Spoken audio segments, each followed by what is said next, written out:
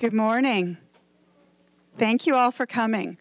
we can't tell you how excited we are to have this presentation today. I'm Sally Aiken, and I'm one of the instructors in the Fashion Design and Apparel Technology program here at West Valley College. And we're very, very pleased to see so many of you here. We had an overwhelming response to this um, very special opportunity, so it's nice to see everyone. Um, before we get started today, I would like to introduce our president, Bradley Davis, who wants to say a few words of welcome, and then we'll give you some more information.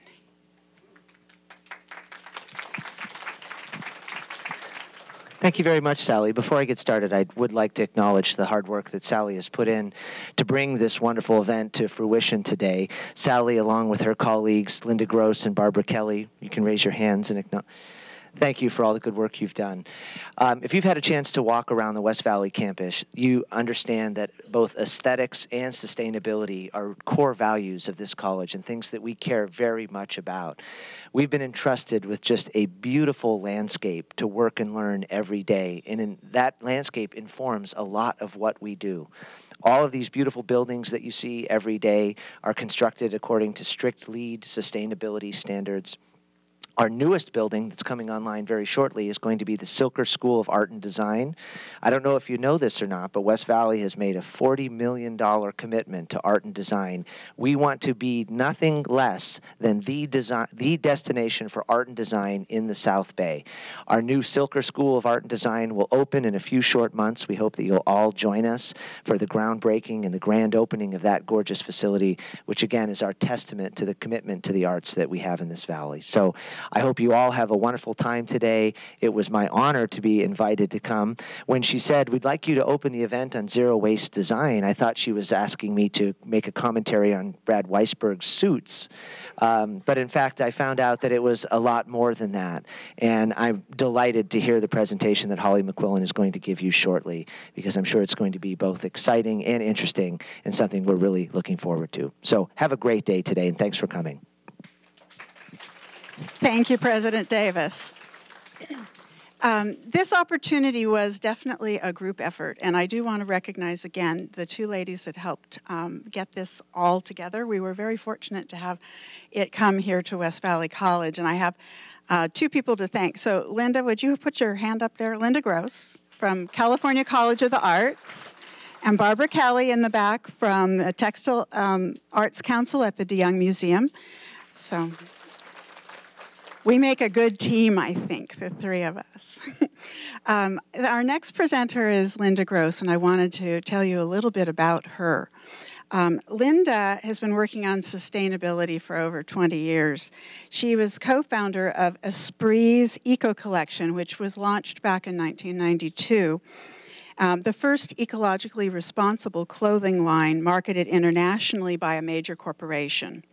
As a practicing designer, consultant, and educator, Lynda works in a range of capacities from advising farmers and artisans to private companies and NGOs. Lynda has taught fashion and sustainability at California College of the Arts since 1999 and currently serves as an associate professor in CCA's Fashion Design and Master's program. She's a co author of the book Fashion for Sustainability Design for Change published by Laurence King Publishing, and a contributing author to the Routledge Handbook, Handbook of Sustainable Fashion and Sustainable Textiles and Sustainable Fashion and Textiles. So she's our resident expert on sustainability and my dear friend and mentor. a frequent speaker at trade conferences, colleges, and museums internationally, Lynda sees sustainability as a driver for innovation She's passionate about the potential of design to bring form and to transform um, our industry. So I'd like to bring Lynda up to say a few words and introduce Holly.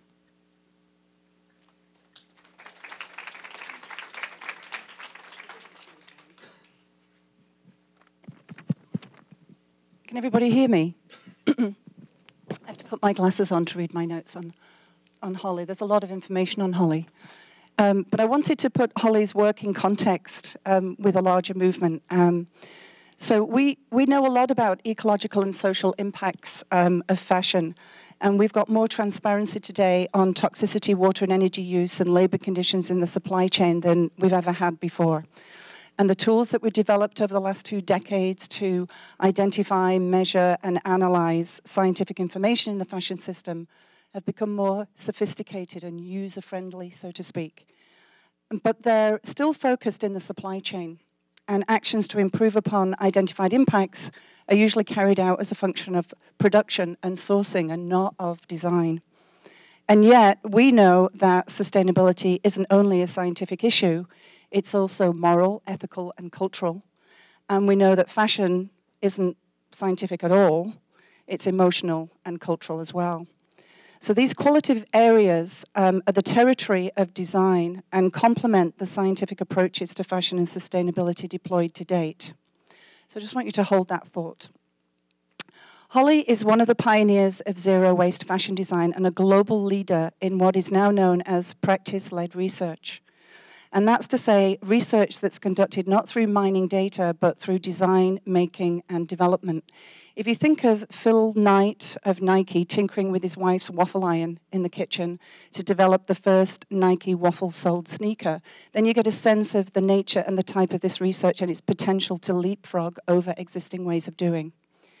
Holly has exhibited and presented her work widely to public, industry, and educational audiences across the globe in America, Europe, Asia, Australia, and New Zealand. She's collaborated with fellow researchers Timo Rissanen and Julian Roberts at Parsons New School and Royal College of Art, respectively, impacting the pedagogy at both of those schools. And she's influenced scores of young designers through her own Massey University in New Zealand, where she supervises honours and Master of Design postgraduate research. Besides her intellectual and teaching pursuits, Holly also engages with the public through works such as The Cutting Circle, the Make Use exhibition, website, film, and workshop series, and the curation of Yield, Making Fashion Without Making Waste, which was exhibited in Wellington and New York. She's a busy lady, and she's also got two small children. Anyway, Holly's flat pattern examples, uh, sorry, Holly's flat patterns example an emergent 21st century sustainability aesthetic. Their elegant beauty and craftsmanship speak for themselves. They express a different set of values, shedding light on an industrialized fashion system which, after all, impacts not only the supply chain, workers, and society, but also designers and design practice itself. In a sense, she proposes taking back design. And I will leave the rest of, of um, what we have to learn about zero waste to Holly herself. So give a warm welcome to Holly McQuillan. Uh, I apologise in advance for my accent. Um, whenever I've presented my work, and mainly to American audiences, they always ask me to slow down because it takes a bit to kind of tune your ear to the way that I speak. Um, but I'll do my best. If you have any trouble, just let me know. So kia ora, everyone. It's a, a Māori welcome, um, saying hello, everyone. Um, my name is Holly McQuillan, and I am a senior lecturer in design at Massey University College of Creative Arts in Wellington, New Zealand. Um, I'd like to thank you all for coming along today, and I'd really like to thank uh, Lynda Grose, Sally Aiken, Barbara Kelly, West Valley College, and the Textile Arts Council for making this uh, event possible. Um, as has been said, I'm the co-author of this book that you see up on screen here. Um, and it's been published in the last month, so it's brand new. It's my first co-authored book, so I'm really excited. Um, I signed my first copy of the book just earlier today. I've never done that before. That was really cool. Um, so I'm going to I'm to talk to you today about my practice. Uh, I go to a lot of lectures where they talk about only about ideas, and um, and I think it's really interesting to hear what people actually do. Like, how do they practice this? How do they put it into action? So I'm going to talk about that and why it's important to to do this, to be doing, not just thinking and talking. Um, yeah. So I began life in a tiny farming community, um, kind of see the circular thing in the middle. That's Mount Taranaki. It's a volcano. And so just to the right of that, um, it's a place called Kaimata. I went to a school with about 24 people in it, um, a primary school. And, um, and my dad was a dairy farmer, and his father was, and his grandfather was. 30% um, of New Zealand is protective native forest, um, so you're always very close to the natural world. Um, you're also never more than 74 miles from the sea, so it's a very long, skinny place, um, and so you're always surrounded by natural things. Um, it's no surprise then that I grew up from, and was from very young age an environmentalist. I identified um, from very young age as somebody who was interested in saving the world and doing what was right for the environment. Um, I also really like clothes. This is me in the pink with the fringe. I haven't changed my haircut much. Um, and this is where I grew up. My brother's there, my mum and my dad. I've also got three other siblings. Um, so this is where I grew up. Um, my mum was a sewer. She used to make dresses for the community and for family members. She was really, really perfectionist with her sewing. Um, and, but most of the clothes that I owned were hand-me-downs. We weren't very well off. So I got a lot of hand-me-down clothes and I got a lot of second-hand clothes. And so the only way I could really engage with my love of dressing up was to make my own or alter the things that my sisters gave me or, you know, that sort of thing. I think the first garment I ever made for myself was probably zero waste. It was four rectangles sewn together with an elastic um, around the waist. They're really, really big culottes, completely poor fitting. They didn't really work. As soon as I moved, they ripped and all that kind of thing. But I didn't care. I wore them to school, and I thought I was just amazing because I turned an idea. I had this idea for something, and I'd made it reality. So it's always been really important to me to take ideas and make them into something.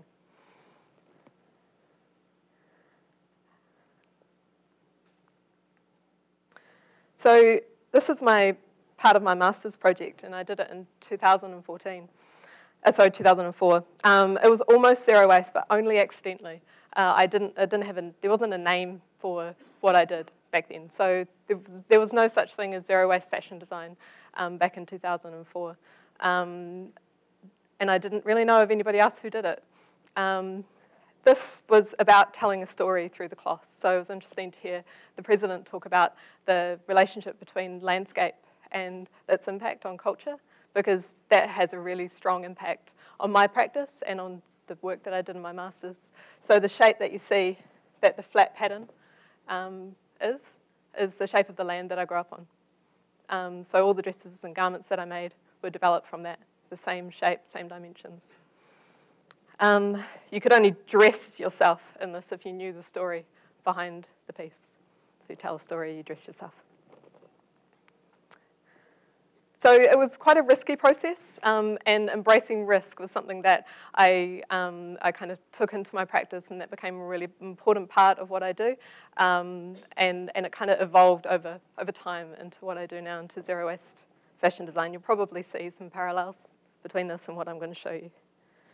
So um, historically, garments such as the kaftan, the toga, the kimono, um, and, and those like these, the Chinese trousers on the left-hand side there, um, uh, and many other examples of traditional dress um, are zero or minimal waste.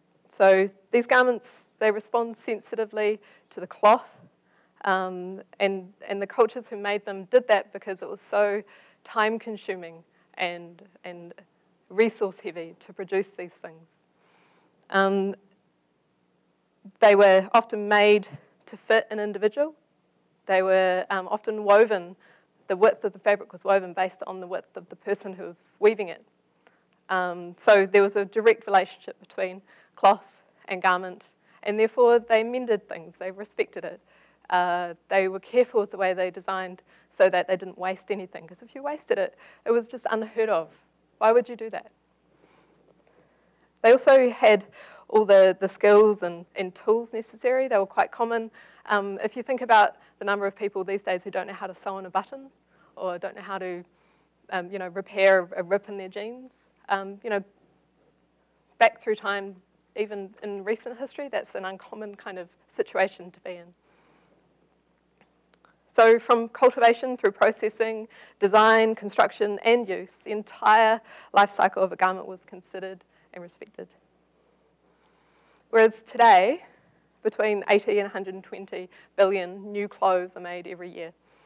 Um, and that's from about 400 billion square metres of cloth. I don't know what that is in square yards.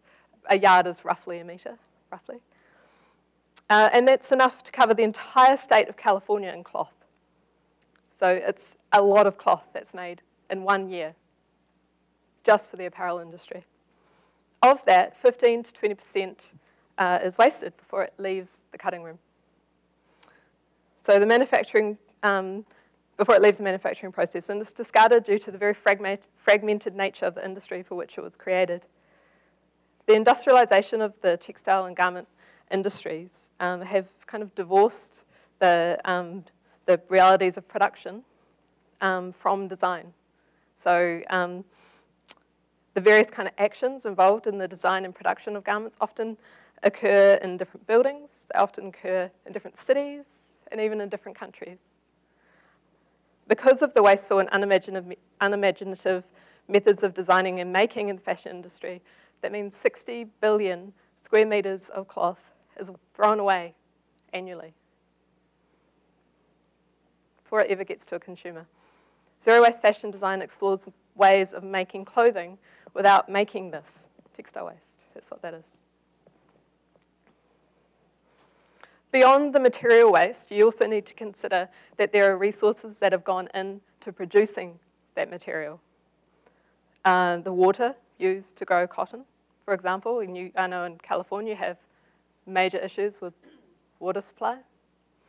Um, three years of drinking water is used to make one cotton t-shirt. Um, what about the toxic chemicals used to treat and dye fabric? The um, pesticides used to spray on the, corn, on the cotton so that it, um, that it doesn't get eaten?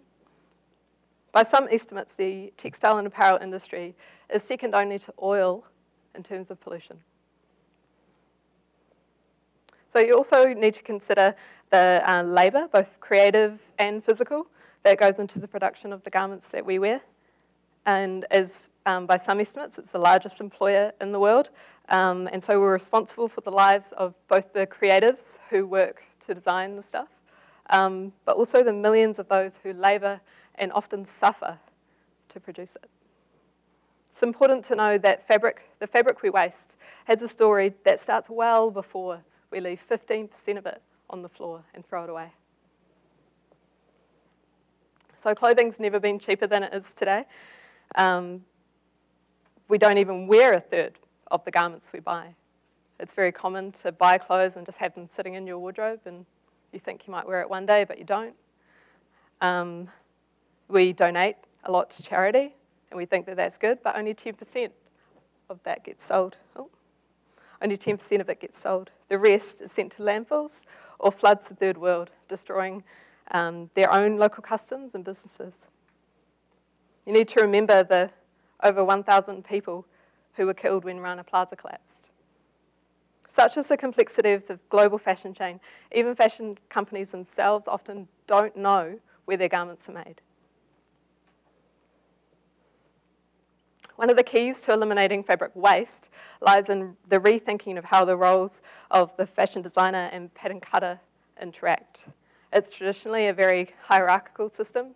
The design is, is sketched, fabric is sourced, and then the, um, it might be, uh, the pattern might be asked to be produced by the pattern maker, um, and then it gets sampled, um, and so you kind of have this chain where information gets passed down. There's a little bit that goes back up, a little bit of kind of response and feedback, but they're not part of the whole system because, like I said, often they're in different building, uh, different part of the building, different country. I have a friend who worked for a high street company in London, and she would take a page out of a magazine, a skirt by a designer, do a version of that as a sketch, and send that to India, and they would pattern make it, make a sample, send it back to her, and she would go, oh, the fit's a bit off, change this, change this, change this, send it back. They'd make another couple of you know, tweaks or whatever, and then they'd go into production.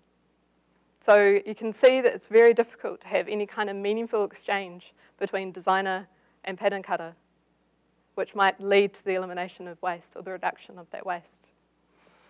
Um, often the designer wouldn't even see the waste generated from the production of the sample, and the pattern cutter would never see the waste generated on the factory floor. So it's very abstract. It's very difficult to really understand just how much is produced, how much is wasted, and therefore to do anything about it.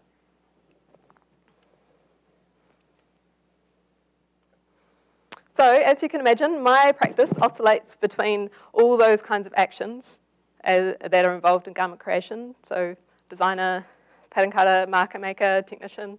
Um, I sketch, drape, measure, stitch, recut, pin, everything. I do everything that's involved in that process.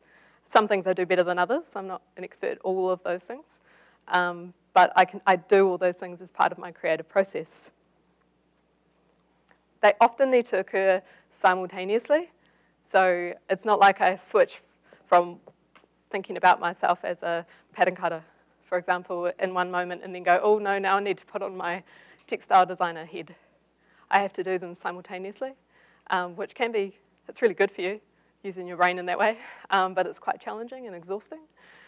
Um, you could do it in a team if you're working really closely cohesively. And I've actually done that a few times now, and it's really, really rewarding. Um, I design the, the, the, pattern alongside the textile design. Um, I, am thinking about the finishing of the garment while I'm doing the marker and the, the garment design. So I'm thinking two-dimensionally and three-dimensionally at the same time. So I usually sketch the pattern alongside the garment, um, like this is like sketching for me, so the side, on this side, where um, I'm, that's the pattern, and that's me working out where the pattern pieces go in relation to each other. That particular sketch ended up being like a, um, a knitted jacket, it's cut and sew knit jacket. Um, and then I'll often turn that pattern into a paper model, a maquette. So you can see there in the middle a pair of trousers, there's a skirt, another couple of pair of trousers with the textile print on them to try and understand how my pattern, how it actually works as a design. Just a little small scale thing, it's really cheap, fast, easy. It's like sketching but in 3D. So I'm going to talk you through a range of, a project, a range of approaches, approaches that I have used in my own practice and show you some of the outcomes. Um, if you have any questions as I'm going through, feel free to yell out and ask. So uh, this dress was um, developed using a, a, drape process. So it's um, very emergent, uh, experimental approach um, where I drape directly on the dress form. Um, you could start with a piece of cloth, any kind of size, and, and just start cutting and pinning and draping very, very randomly. Um, however, it can be useful to have a starting point of some kind. So um, that might be a part of a garment, like a neckline, for example, or you want a particular sleeve shape, and you have that ready. And then, but the rest of the fabric is sort of a question mark. You know, you're not sure exactly what you're going to do, but you'll have a play. It's a very playful process, very fun. A lot of people really like it, but it depends. If you like certainty, you'll probably have trouble with it. Um, this particular piece was designed for an exhibition in Korea um, where the theme was war and peace. It was commemorating the support that allies gave to Korea during the Korean War. And, um, and so the, if you look at the pattern, which is kind of sideways, it reads in Helvetica font piece. It's all jumbled up, messed up. There is a corresponding piece, which you can see half the dress of, the other girl that's kind of sliced, um, which was based, which was the same kind of idea but war. Um, and so I used, I took the kind of the font and used that as a starting point for it. It kind of suggested lines, places to cut, places that could be a neckline, a sleeve, that kind of thing. Uh, this dress was a live design exercise. Um, and the idea of it was to encourage risk-taking in my students for a workshop that I was delivering. And so what I did is I sketched up what you see on the the pattern on the side which says risk, and then used that to develop a dress live in front of about 100 people. It was terrifying. It's very scary, um, but you know, it worked, you know, more or less. There are parts of it that I wasn't happy with, but there were parts that were really successful. And there were also aspects of it that I would never have thought to do until I did it. That's the advantage of a process like that. It's very kind of, it's fun. You come up with things that you maybe not, haven't thought of before. So um, this is more of a kind of a sloper, or what I call a block-based process. If you um, are familiar with conventional pattern making and also um, like a bit of certainty in the things that you do, this might suit your temperament a bit better. So with this kind of process, um, I'm not sure if you can um, see it. There's um, you can see the sloper or the blocks kind of in dotted lines under the pattern on the far side. So there's a, a darted bodice block, to the front and the two halves above it. I've eliminated the shoulder seam and I've pivoted the dart out of the bust into the, the bottom part because I wanted to achieve a trapeze silhouette. So this, this whole kind of setup becomes like a zero waste block that I can then use for other designs, adding in other features. So this is kind of featureless at the moment. There's nothing apart from the silhouette that's determined. Um, you can see on this side here, um, if you move the location of the neck hole and the armhole, forward or back or to the side, you can change the silhouette. So um, the top line, it's centrally located, so all the fullness is evenly distributed front and back side. And then the one down, it's moved towards the bottom of the fabric, so you have a crop front and a longer back. So this uses the same layout, but it's a men's shirt. So I used a men's shirt block to start with. I, I didn't use a woman's darted bodice block, but I used the same kind of process. Um, and then the sleeves were developed um, in response to Julian Roberts, um, who does um, subtraction cutting. Um, so he kind of helped me develop the sleeves, and we collaborated on it together. Um, and so the sleeves are the two bottom panels, believe it or not. And so those become these kind of twisted uh, voids for the arm to travel through. Um, but you can see the crown of the sleeve is there, so it was established point of the pattern before all the rest of it was done because I needed to make sure that it would sew into the armhole. This is again a development of the same thing, but instead of having all this fullness around here, like the previous two examples have, I've created the sleeve out of what would have been fullness so it's a more fitting silhouette. This uses a, another similar thing, but what it does here is it um, is these are this is the me planning the pattern and then printing it out in colour to make my little paper maquette as I was going. This embeds two garments in one, so there's a t-shirt and like a hooded shirt in there. Um, I colour coded it to help make sense of the space, so you can see, okay, here's that green part of the sleeve on the flat, and when I make the little paper maquette, I can see the green sleeve in 3D. So it's a really helpful sort of translation between flat and form. So here's my little paper maquette. Not to scale, doesn't matter, you're just making sure it kind of works. And then you make it in reality. So I made a few versions of these. One of them was digitally printed. This one's just black linen. Um, also did one in grey marl knit fabric. It was for a friend of mine, um, a guy who um, challenged me and said, I bet you can't make anything that I would wear. He was like a skater, so just kind of hoodies, t-shirts, not very avant-garde at all. And so I came up with that. Um, it's important that you sometimes follow the rules, um, but sometimes they really are just a hindrance. Uh, and all designers need to know the difference. So you need to know what the rules are, you need to know how to do it correctly, but then you need to go, do I need to do this at the moment, or is it just tripping me out? So that kind of um, understanding the difference, when to apply it, when not, is really, really important. So I eliminate seams a lot. I have unconventional pattern shapes, and I also will play with grain lines a little bit. And a lot of conventional pattern makers, when I say that, go, you know. But in this case, you can see the it's a two-piece sleeve in the purple. So the undersleeve is across this part of where the pattern is. And then the top sleeve is above it. And they're both at 90 degrees to what they should be. With that particular fabric that I used, it didn't matter. Yeah. For every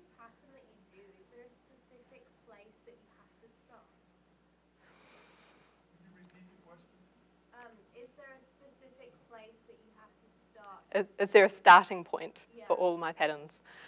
Uh, there's something, yes. So that might be a, like a sleeve type that I want to use, or a, silhouette that I've chosen to pursue, or and usually a garment type silhouette, and there might be a feature or something. It's good to have something to start with, but if you have too many things that you're like, has to be this, has to be this, has to be this, has to be this, and your list is like 20 things long, you're just going to be banging your head against the wall the whole time. So that changes every time. Yeah, every time. Um, so yeah, so in this particular design, the fabric, it didn't matter. The, it didn't behave differently in the two different directions. The print was the same. It's not a print, it's a weave, it's houndstooth. You couldn't tell. Um, so this pattern is fully lined. This garment is fully lined with the same pattern. It took advantage of the fact that the lining fabric is substantially narrower than the shell fabric. So it's got like a, a facing, grown-on facing to the front as well. So this is geometric, a geometric approach, um, not in the sense of the aesthetic of the garment, but in the shape of the, um, the, the layout, the pattern layout. So often garments made using these kind of processes don't look at all geometric, like you would see in a trend forecast, you know, sharp angles and stuff. They look quite soft, but the pattern is kind of quite simple, quite spare. Um, the Make Use project that I'm going to talk about a little bit in a, in a sec is part of that process. So it's often simpler forms, but not always. You could almost think of this particular layout as um, like another zero waste block um, by changing its length, width, um, sleeve depth, garment details, adding collars, all that sort of stuff. Um, you'll be able to develop a whole wide range of outcomes. You might recognize it. It looks, if you've ever heard of a bog coat, or there's a Hungarian guba, which is hilarious. Um, it's the same kind of thing. There's examples of this basic layout in almost every culture in the world. So, and that's because it makes sense. Like it's a completely different way of thinking about how to form a garment. And when you first do it, you're like, wow, it's like nothing I've been shown before. But it's really, really simple. It's a really great starting point for a whole heap of different things. Uh, this t-shirt I'm wearing is that pattern. So the same basic layout as the previous slide. I've used it to develop um, dresses, coats, t-shirts, whole range of different silhouettes and forms and details. So this is a coat um, that uses the same basic pattern. It's just slightly different with a neckline um, length that's been colour blocked with two fabrics in combination. Geometric cuts are often based on rectangles and their derivatives like triangles um, because it fits into a rectangular piece of fabric really, really easily. Um, however, this example here uses curved arcs for the body and the triangular negative space forms sleeves. Um, so, so this design is a menswear design, but um, it's interchangeable with women's wear as well. I wear it a lot as a dress. Um, yeah, you, so the curved top seam drops down just the back of the shoulder and creates a really kind of lovely cocoon-like shape down the back. So the same process that's used to make the sleeves in that previous one um, creates trouser legs for this. So this is a trouser pattern. Um, and so the difference in length between the width and that diagonal line gives you the, your hem circumference. Um, this pattern came about because I was explaining to a student how to turn little triangles into a tapered sleeve, and my brain went, tapered tube. That's like, that's like a trouser leg. I wonder if I could do that. And so I went to my office, tore up a sheet of paper into triangles, and made a trouser. And so it's often with practice comes these little like bursts of insight of this is how to do it. If you, I find personally that if I just sit there and write things or draw, I don't, don't make those breakthroughs. So practice is so important to making that kind of, having those insights to different way of thinking. So these leggings over here um, are based on the previous pattern as well. So they're zero waste sportswear. Um, the crop top uses a combination of triangles and rectangles. Um, so the combination of the pattern and the high stretch knit fabric used enables a, a form-fitting silhouette not commonly seen in zero waste. Here it is again. They're all designed um, with a starting point of a garment style. So your question about where do you start, I was given garment styles, so leggings, crop top, uh, muscle tee. And so I knew that's the shape I needed to make. And then I started from there and tried to work it out. So um, grading is something that often comes up. How do you do grading? Well, there are multiple ways of dealing uh, with this, depending on the goals and the design and also the company. Um, the easiest way is to go one size fits most.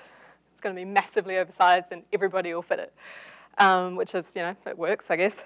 Um, you can also alter the design for each size and fabric width, which can be really time consuming, but I'll show you some examples about why that doesn't need to be the case in a bit. You could order the same fabric in multiple widths and get your different sizes, but that's only if you're a really big company that you can do that. Um, and you can also design the pattern so that the large and small size will nest next to each other.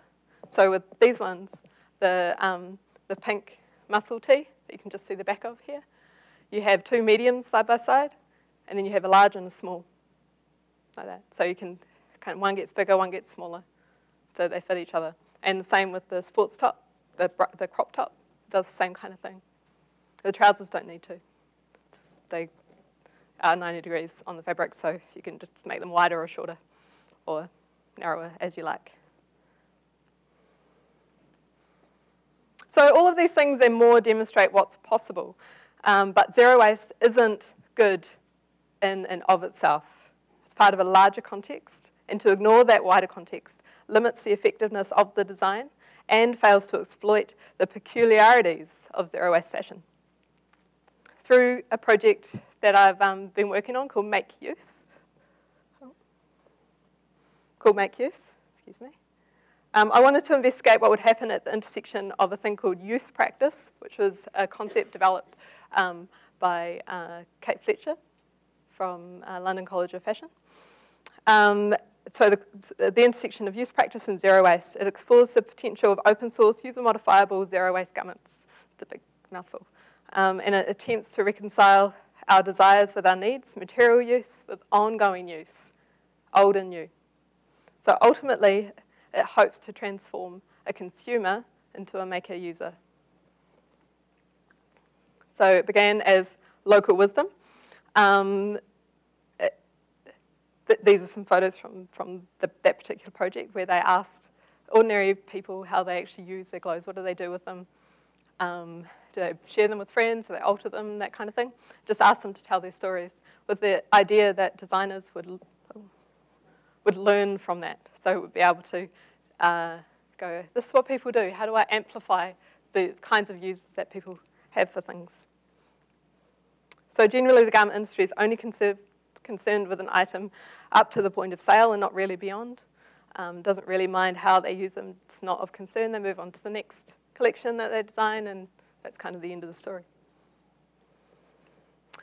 So this is, you recognize the pattern. This is the, kind of the starting point for that collection. Um, the t-shirt coat, uh, there's a long t-shirt um, as well that will develop from um, this ancient garment design, which is, dates back as far as the Danish Bronze Age. It's the earliest examples. Oh. Um, and it hinges on the creation of volume through the joining of two edges of a piece of fabric, just to make a tube. And that tube is what the body travels through. So you're creating space for the body to inhabit, um, and where you put the neckline, where the body's entry and exit points occur, determines the silhouette of the garment. So MakeUse develops this really simple concept um, through the manipulation of those tubular volumes, which is essentially achieved by slicing that tube at an angle and then rotating them. And so you're able to take a straight silhouette and create some more interesting shapes from that. So using these basic um, fabric manipulation techniques, the rest of the collection has been developed. Um, it was designed in a, um, a 10-minute conversation while I was writing my book with Timo Rissanen. I was trying to work out how quick could you do this? How, how rapidly could you develop a collection? It took 10 minutes to, to get the initial kernel of ideas for this range. Um, normally people think, oh, it must take ages, it's so slow. It really doesn't need to be. The more confident you get um, with these kinds of processes, the faster it gets. Um, so they kind of cover a whole range of garment typologies. You've got uh, a t-shirt, t-shirt dress, coat, two types of dresses like a wrap dress, casual dress, and a more formal dress, um, a skirt and a pair of trousers. So um, one of the key things about this was that we were trying to facilitate an understanding of the flat form relationship because it needed to be something that um, that's, that an ordinary user could understand. How do I make this thing? How do I transform it from a flat pattern and make it into a garment? Um, and it's, so what we did is we developed a way of like way showing. So you know how you navigate through a building or through space or use directions to follow um, like signage? Way showing. We use it on the fabric to help tell people where to go, how to put a garment together, and how they can then alter it later on. Yeah. That, that's a question I have, Sure. having used your book, is I didn't have any way showing notches or anything from that. No. And I didn't, until I like slept on it, I didn't think about making a model. So it was super confusing. Would you ever consider putting marks onto the pattern to make that easier Yeah. people to follow? So with this project, that they're all completely, you can follow that, that kind of logic, like it's But in your got. book. No, the, the Make Use project was done after the book was written. Um, having, having notches and that kind of thing on, um, on the patterns with um, a zero waste garment often isn't enough because you're not, because they're not recognizable pattern shapes, you don't know what notch goes with what. Whereas if you, you know, you know a sleeve, you know how that's meant to be sewn together, you know how the sleeve's meant to be sewn into the, um, into the body of the garment but these are often unrecognizable. So you need another layer of information, which is why we've, we've done this with Make Use, because you need more information. But following really complex instructions is quite difficult. So for an everyday user, this is why we applied that way showing information directly on the fabric so that you could respond kind of in real time to what you were seeing in front of you. Um, sorry. So, where, where am I?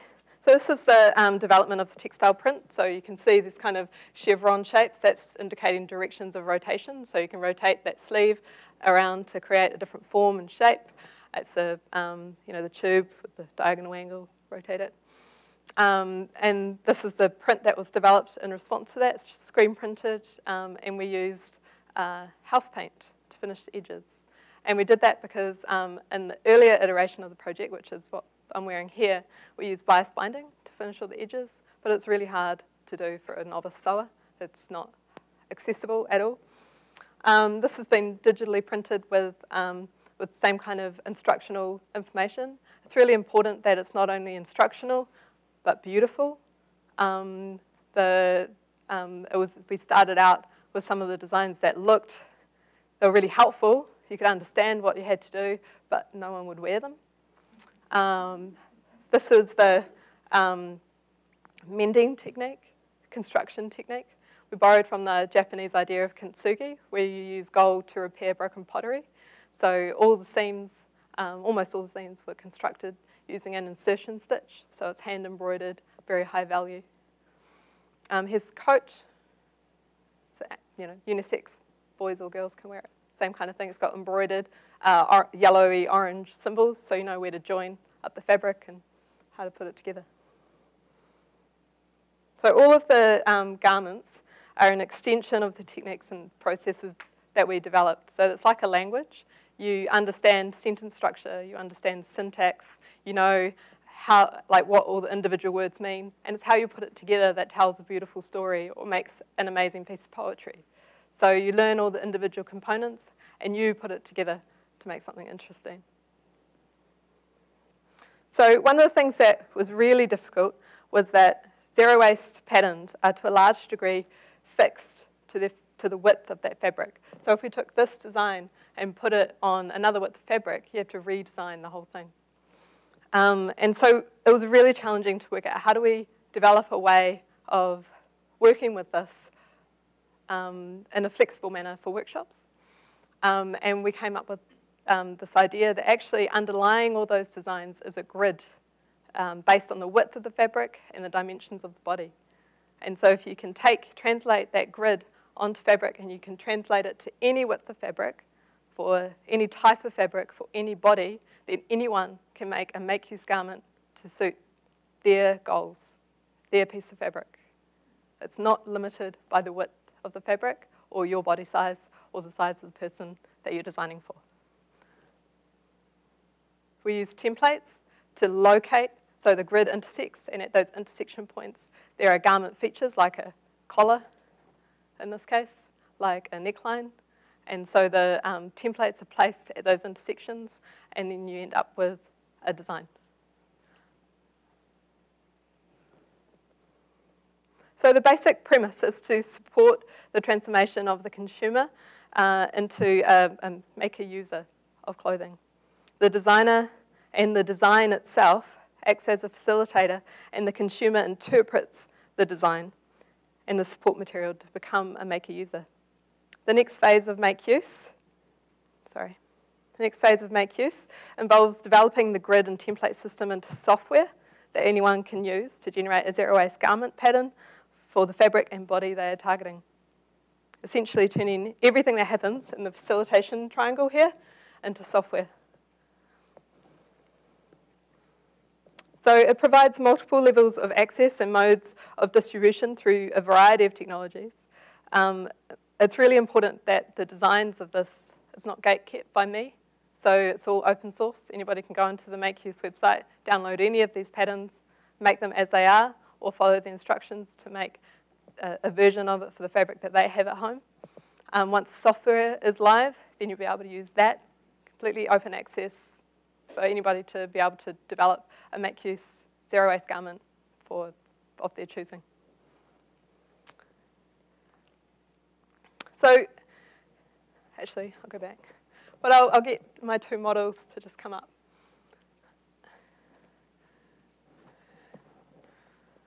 So they're wearing some of the pieces from Make Use. So this is the flat fabric for the trousers. What's your name, sorry? Alison. Alison's wearing. Here. So it's digitally printed.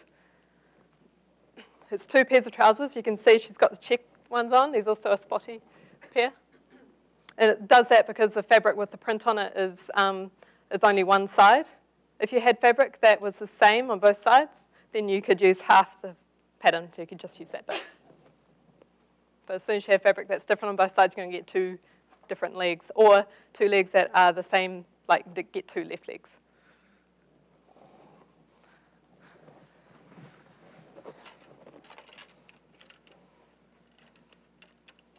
This one is the coat.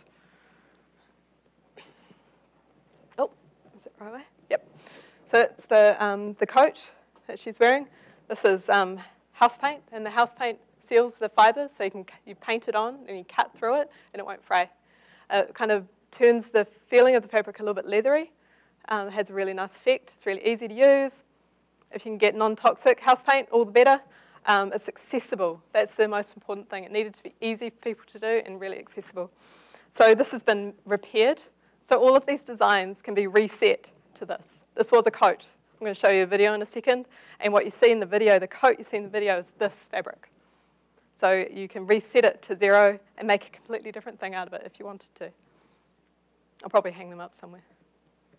This is um, digital embroidery. So you know where to connect all the different parts to each other to make the coat. Do you want to turn around so I can see the back?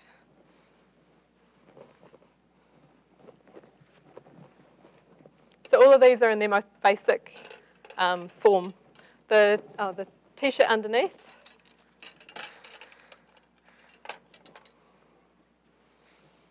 This is here.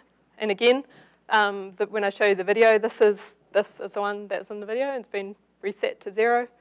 Um, you can come up and have a look uh, after I finish talking. You can see the painted edge and how it seals fabric, stops it from fraying screen printed and hand painted and hand embroidered. Um, and then the organza is basically the same pattern as this, but longer, and the fabric is wider, so it's more voluminous. It's digitally printed, um, hand embroidered.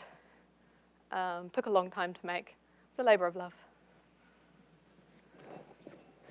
So, um, yeah.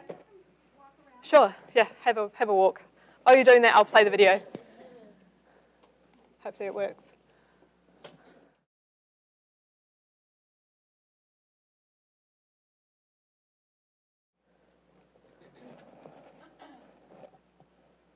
So the t-shirt, the orange t-shirt, um, that's in its most basic form. Um, and that one t-shirt, there are 48 different t-shirts you can make from it. So by changing, um, choosing one of the other three necklines, so you can have a high neckline, mid or low, by, um, in this case, one of the sleeve rotations has been enacted, so it's got a bit of a bend in it, creates a lovely kind of elbow curve. You can rotate it at um, the armpit so that it fits more like a set-in sleeve. Um, it's got a, been rotated around the, um, the bottom to make the hem drop down at the back. Um, you can also do another modification where across the shoulders you swap pieces and it narrows and tapers the sleeve. So from one pattern you can make 48 different t-shirts. It's the same with the organza kind of cloud print t-shirt, same kind of deal.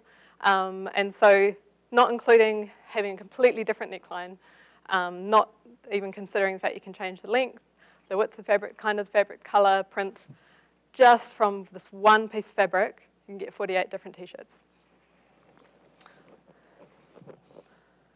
So zero waste fashion design can initially seem about an exercise in efficiencies. It's about increasing you know, yield and making sure you don't waste anything. Um, and I know that a lot of um, uh, companies, that's primarily what they're really interested in. They often come to me and ask me about those kinds of things. And, and I can tell them that, for example, the, those trousers take about 75 centimetres of fabric to make, which is substantially less than um, a conventionally made pair of trousers. How many inches is that? I don't know. Anyone convert inches, centimetres for me? Sorry. Um, it's about half the amount of fabric that you would normally use to make a pair of trousers. Um, and so while it can be about efficiencies, um, for me it acts more like a creative impetus and a challenge. Um, as, you, as you, your eye becomes more uh, adept at pattern recognition, I see potential in everything. I'm sitting on a bus and I look at the textile print and I see shape and I start thinking about garments. Like, it's kind of freaky. I feel like sometimes I infect people with this way of thinking about things. I have students who come to me and say, I dreamt about this last night you know? And so once you get kind of more in tune with thinking a different way about how to create a garment, there's so many more opportunities that are available to you. Um, oh. Ah. Excuse me.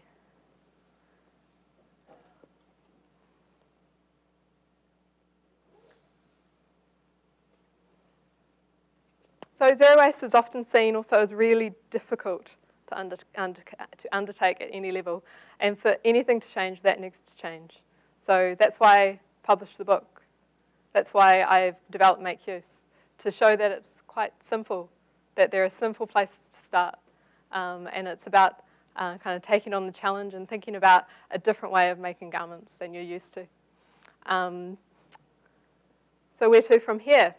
I guess education, so that more practitioners understand, so that people who are students now go out into the workforce and they have this knowledge, they have like an introduction to how this could be a thing. Um, so they're more comfortable working in that space, getting more tools, processes, and techniques available out to people so that they can develop their skills um, outside of university or college, um, which is why we made the book. Um, and also remember that conventional pattern making has had decades and decades of experimentation in a contemporary context. Zero waste fashion, back in 2004 when I did my master's, didn't exist as a field. It wasn't this thing. It was being done for centuries, but no one had really pushed it that far in a contemporary context. So the more people who do it, the more we understand about what's possible, the more is possible. So that's why I travel all over the place, talking to people like you. So Thank you. If you have any more questions, let me know.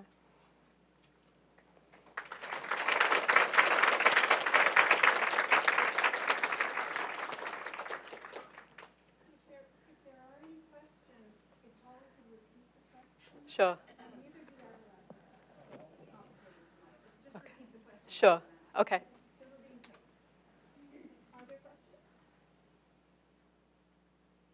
Must have said everything. Yes, Done. back.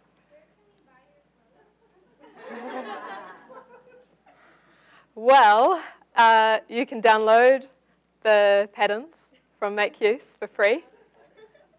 Yeah, and you can make them yourself. I don't. I don't sell. I don't sell. Yeah. Yeah. How, um, how do you deal with this uh, since zero waste fashion is so like n- it's newer and with everything else you started with, and you said back in 2004 um, when you had gotten your master's, it hadn't even like basically started. So how do you deal with that? How do you suggest like we go into the field as designers? Well, you're really lucky because now. Oh, so how do, how do you deal with? Um, sorry, I'm just repeating the question for the recording. Um, how, how do you how do you deal with the um, it being a new emerging field? That's your question, roughly. Um, and what did what should new emerging designers do to kind of get into that space? Um, what I would say is that um, you're really in a really lucky time because people are really interested in it. It has a lot of value. Um, uh, I have um, I get regularly approached by people wanting my skills for their businesses, um, and I have to say no to a lot because I don't have time. Um, my hope is that I I have more impact by teaching people like you guys, so then you can go out right, rather than just keeping it all to myself. So there's a book, read the book, get the book, look it in your library, practice, do it. You're not going to get any better just by thinking about it and looking at other people's work. You absolutely need to do it. There's a real value in your hands learning, your eye learning, uh, understanding how these things work. Um, uh, if there are any courses that you can do, you know, workshops or um, like I, I, know that um, there's a, a, zero waste course at I think CCA do, does a, a, zero waste course. Um, Parsons do one. Um, I do um, workshops like the one I'm starting today. Um, you know, get as much of that stuff as you can. Um, there's a lot, I put almost everything online for free, so look at that stuff, give it a go, make mistakes, stuff it up. You know, I always make mistakes, yeah. Um, how do you designers like this get a hold of the customized fabric? Um, is there like a program or something that you use, or is that on your website? Do you mean the printed, digitally printed stuff?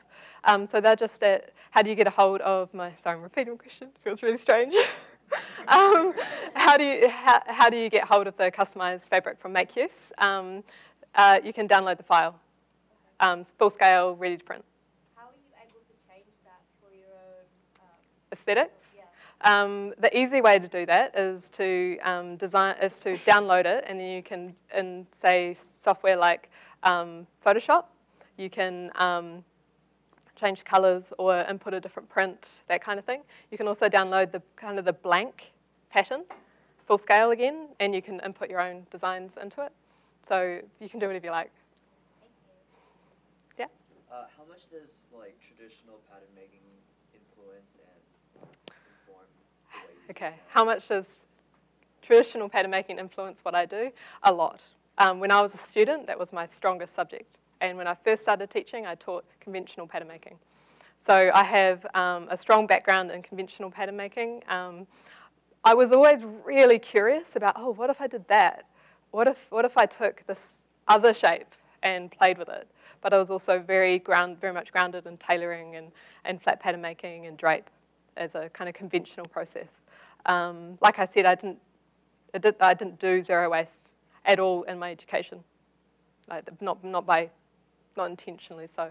So very much so. Um, it's really important to, uh, I think, to know that. But on the other hand, I know a lot of self-taught designers who, because they don't have the restrictions of the conventions that they've been taught and told you have to be, you have to do this, grain line has to be like this, uh, they're a lot freer. It's a lot easier for them to kind of um, do things differently. So I think there's value in, in both. For me personally, I come from a strong conventional pattern making background. Um, you again? Oh, yeah. Okay. So when you first started this, um, did you ever find that it was kind of limiting to what you could do? And then if you've ever like had a mental block or something and don't know what to, like, how to go around it, how do you overcome that? So um, did I find this difficult at first? Yes, I did. And I, I know how, how hard it can be, probably particularly coming from the very conventional pattern making background that I came from. Um, we were never taught any alternative uh, creative pattern cutting processes ever. Like it was, this is a tailored three-piece suit. You're going to follow the instructions, step one, step two, step three. There was nothing creative about my education in that regard. Um, so it was really, it was really difficult um, to start with, and also because there was no information out there. There was nothing that I could look at. I couldn't look at any other examples. I couldn't look at other people's patterns of contemporary designers and go, oh, that's how they do that. I'll give that a go and see what happens. Um, so, you know, I think today it'll be a, a little bit easier, um, but it does require a bit of a, kind of just a different way of thinking, a bit of a leap of faith.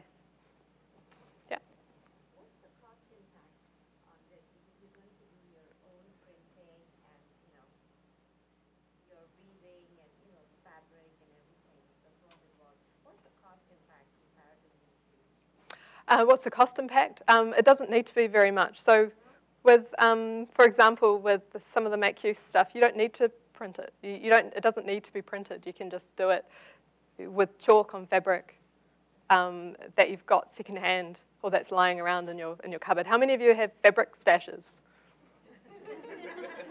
Grab something out of that. You, you've kept the fabric for a reason, right? And sometimes it's scary to cut into it because you're like, I love that fabric. I don't want to ruin it, you know? With this process, you won't ruin it because you can always put it back to what it was. So, you know, so it doesn't have to be very expensive at all. It can be very expensive, just like any fashion. You know, if you're going to embroider, digitally print, you're going to do all these processes to it. Yes, of course, it will be expensive, but it can be really, really accessible and inexpensive.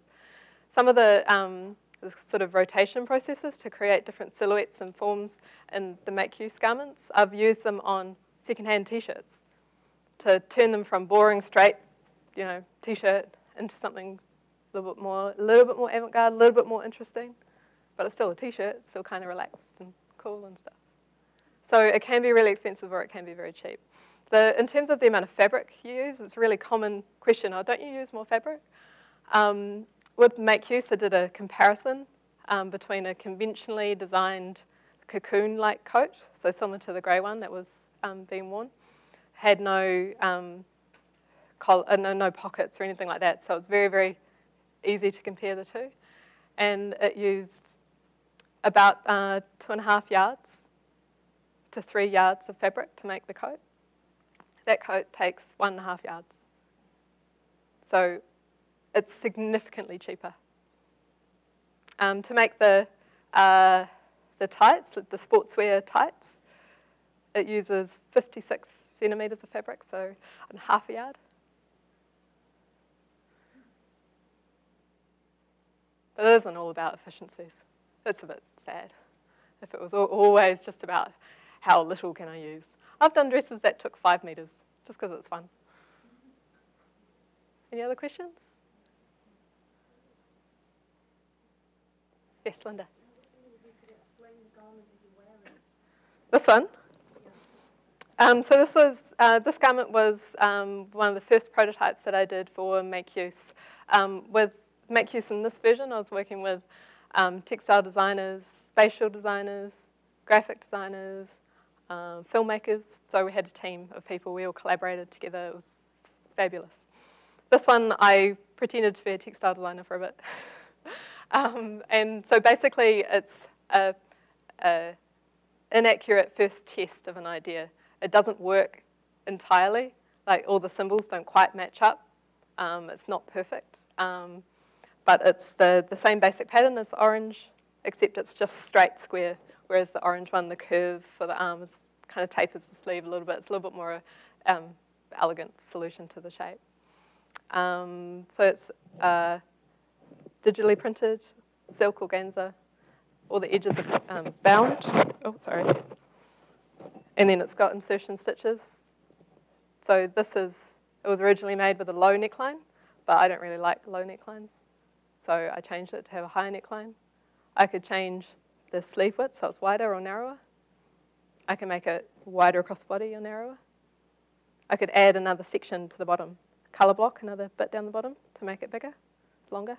So there's lots of different things that I could do to change it. Um, I like it as it is for the moment, but in a, I don't know, a year's time I might change my mind and do something else. Yeah, answer your question? Thanks. Yeah.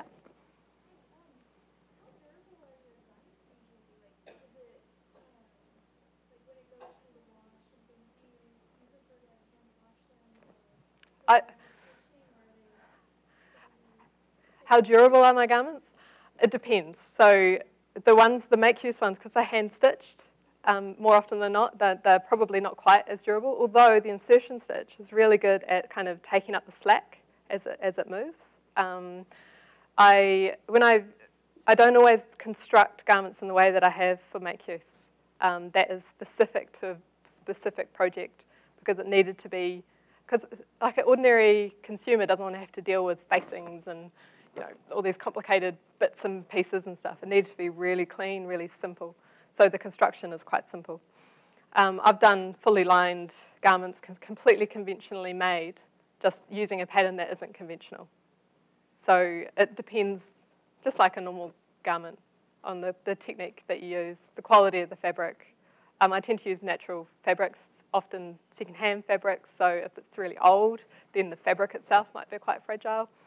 But I mean, you could conceivably use anything to make it. It's all it's about the pattern, about the choices as a designer. That's why the context, the wider context is really important. You need to think, so it's zero waste, but if I'm producing it using slaves in Bangladesh and I'm using toxic dyes in the process of making the fabric, then is that really good? Probably not. So you need to consider it in that whole kind of context.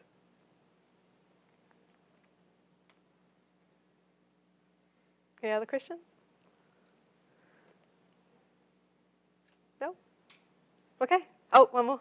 Um, so as fashion designers, we're kind of hyper aware of what we're doing, or at least we're learning about what we're doing to the world. And how can we, as designers, start to branch out into the rest of the world and have kind of society take it a little bit more seriously because right now everything is fast fashion, disposable fashion. That's where they're going. So for me, you know, I am a pattern maker too, and I design, I do all those things. Yeah. But to try and sell it and make money, it's much more expensive. People don't see the value in that. They don't yeah. see why it's important. They don't see how that's affecting. Yeah. So what can we do? How do you counter the consumer culture that we live in that values fast over everything else? It's, it's a really hard question. Um, it's a cultural thing. It's a cultural shift that's required.